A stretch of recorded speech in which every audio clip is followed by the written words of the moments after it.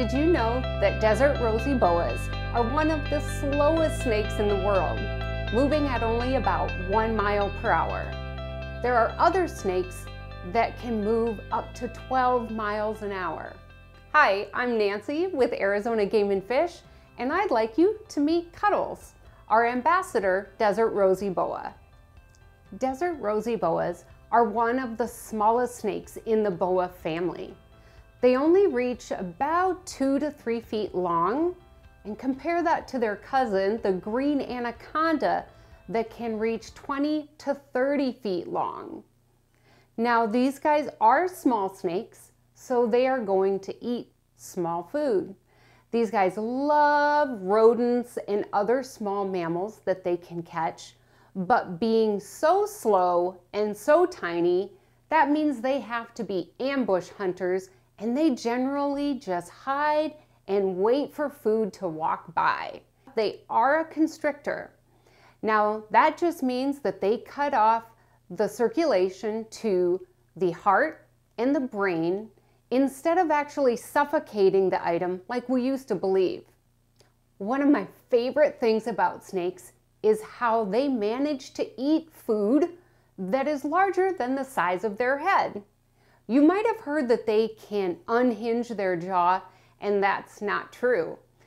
Right here, just like you, they have a connection between the top jaw and the bottom jaw.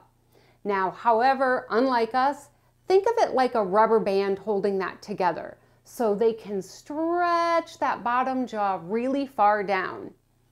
Now you can feel your chin. And you feel that bump? They have another rubber band right there so their bottom jaw can spread out to the side. So a snake like Cuddles here could eat something about two to two and a half times the size of her head. How amazing is that? Another really cool thing, since we're talking about them eating, is how they find their food. Some lizards and snakes are going to have that forked tongue. And it's really cool how that works. They stick their tongue out in the air and it collects air particles.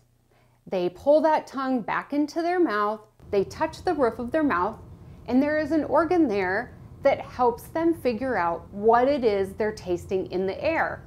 And if it's a food item, well, guess what? If there's more of those air particles on the right side of the tongue, they know they need to start moving right to find that food item. So that forked tongue actually helps them with direction. Desert rosy boas can be found here in the southwest, parts of Mexico, and Baja California.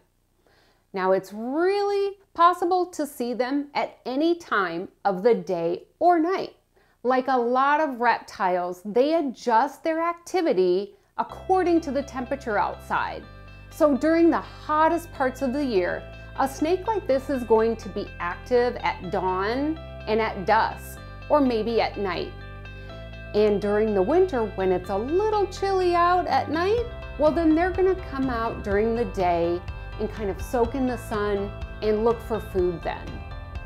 If you wanna learn more about desert rosy boas or any of the other animals here in Arizona, please check out the Arizona Game and Fish YouTube channel or the Arizona Game and Fish website for more information.